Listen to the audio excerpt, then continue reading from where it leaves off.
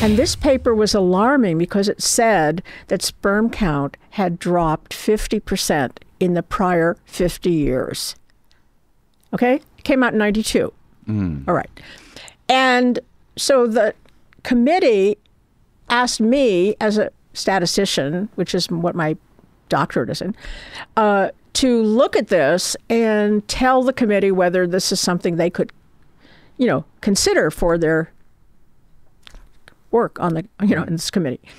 And although it wasn't related directly to, at that point, to hormonally active agents in the environment, which is what the committee was called. Right? So we had this harm that appeared to be going on with unknown costs at that point. So I looked at the paper, and I have to say, I was not uh, impressed. Why weren't you impressed? Well, first of all, it was very thin in terms of number of words and pictures and data. And the data that were there, if I had a graph, I could show it to you. But, but you've seen it in, I think, in Yes. maybe, yeah. And um, th- a lot of the data were in recent years. They were kind of spotty over the time period. And more importantly, perhaps, there were not you know, any of the factors that we worry about, which might cause an erroneous decline, none of those were considered. So I said I wasn't sure. And so the committee said, well, can you investigate this and let us know what you think? Okay. So I had the good fortune to be on sabbatical and be able to do that. And I spent six months answering that question. So let me just give you an example. So you might yourself think about things that could make a, but you read about it, so that doesn't.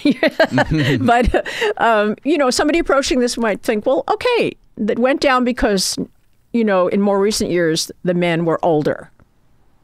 That could make it down somewhat. Actually, sperm count doesn't decline dramatically with age, so that might be a small factor.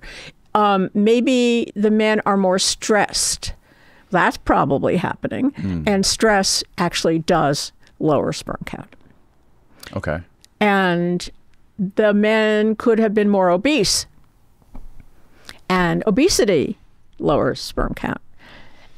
And maybe most importantly, you might ask, well, maybe the way we count sperm has changed so that in recent years, the counting method counts lower. You know, methods change, and maybe they're not exactly the same over the 50 years, right? So and finally, there was the question of who are these men? And maybe if you think about, you can't ask a man on the street to give a sperm sample, right? So Right. a man has to volunteer and he has to usually have a motivation to do that. And maybe he's doing that because he's going to get a vasectomy. Then he has very good sperm count, right? Because he's had a lot of children. Mm. Or maybe he's doing that because he's having trouble conceiving and then he has low sperm count. So mm. the selection of the population is really important Right. right? So there were 61 studies, and so I took out of those 61 studies, I got them, retrieved them, looked through them, and took out of them any information I had on these and other relevant factors. I also took out what country they were conducted in and and so on and so forth. So All the details I could about the study. And then I and my colleagues put them in a you know, spreadsheet and ran a more complicated analysis than had been done before. Hmm. So we called it multivariable because we had all these variables in there, right? We're not just looking at the decline. And Danny, it was staggering to see that after all that work of six months and accounting for all these factors, the slope changed from minus 0.93 to minus 0.95. It didn't change at all. Right. That's million sperm per milliliter Okay. per year. And wow, I just like, I went back to the committee and I said, I can't make this go away. It looks like it's real. And then I did another analysis, which we don't have to go into detail unless you want to, where I I re abstracted the studies from the literature, thinking maybe the original ones were biased, you know? And then I ended up with 101 instead of 61. So that was good. More studies, longer time period. And then the slope was minus 0.94. So you see, nothing made any difference. Right. Right? It's so, I mean, it's so unusual in science to see that, that consistency, you know. So I thought, okay, this is something I really have to look at. And that began sort of the mystery story, you know, mm-hmm. that I tell in Countdown, and I tell to people, and we can tell it. To, I can tell it to you today, uh, of how I began unraveling that and trying to find out what was going on. So, what year was it when you started your study? Your study where you took uh, how many patient or how many people was it? Or how many young men that you studied in 2017?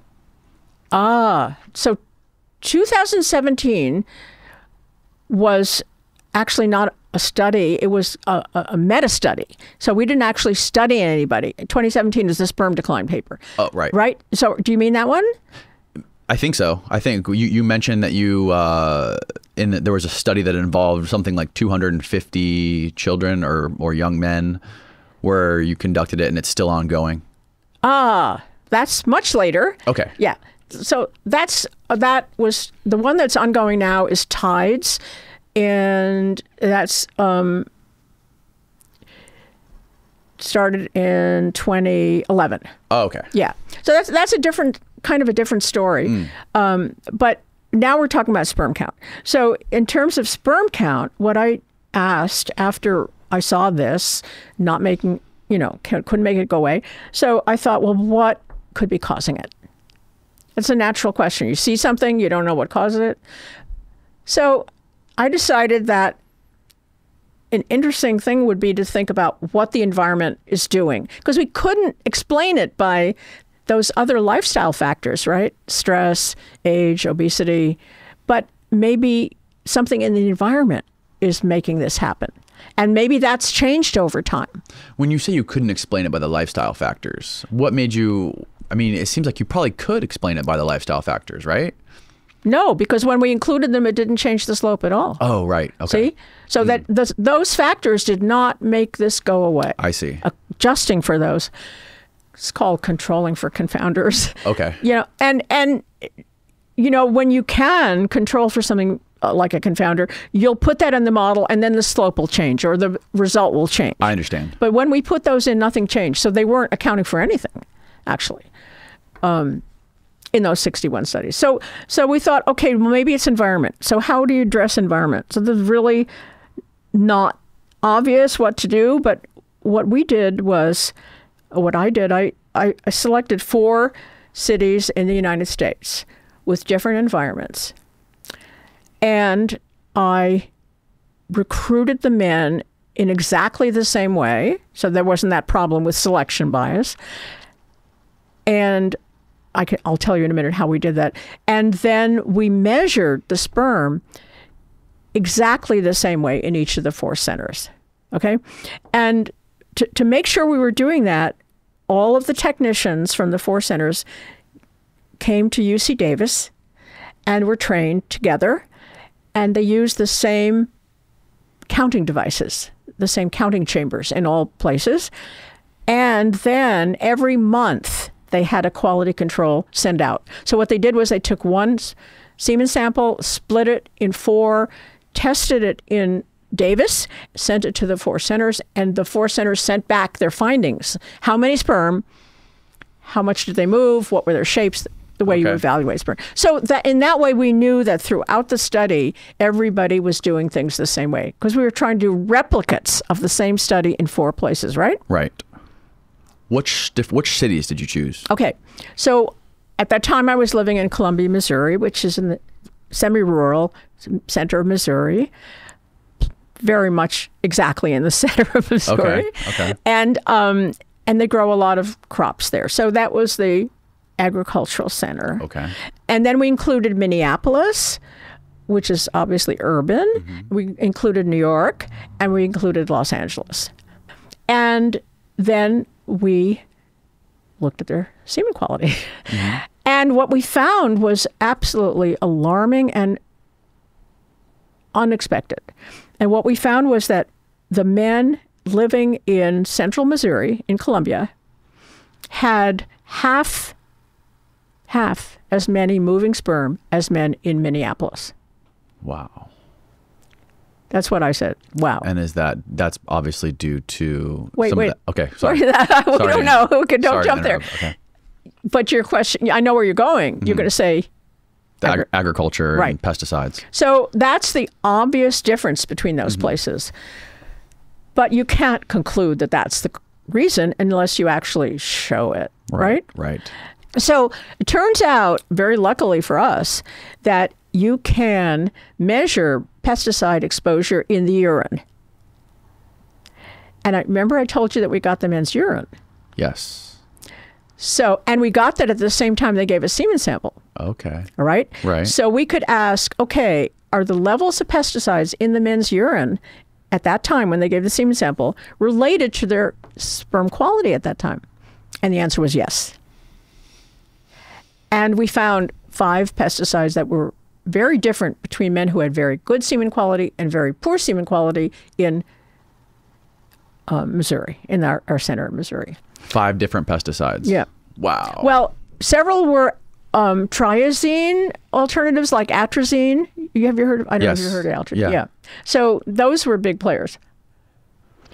Enjoy that liquid death. No plastic. Mm. Death to plastic. Death to plastic.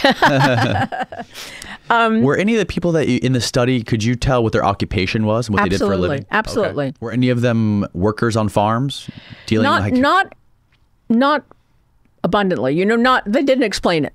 Right. Um, there were some, but pesticides exposure is occupational, but it's also through the air and water and through the food, which of course is you know distributed mm. across the country Right. or even the world. So everybody gets exposed to pesticides and yes the sprayers and the applicators of pesticides are more exposed but we had very few of those